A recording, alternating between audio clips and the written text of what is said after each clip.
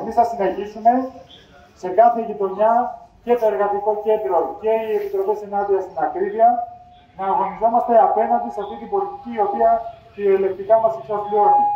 Το επόμενο διάστημα και μέχρι την Πρωτομαγιά, που είναι ένας βασικός σταθμός που έχει μπροστά της η εργατική τάξη, καλούμε όλο τον κόσμο να οργανωθεί, να διεκδικήσει σήμερα για ένα καλύτερο μέλλον.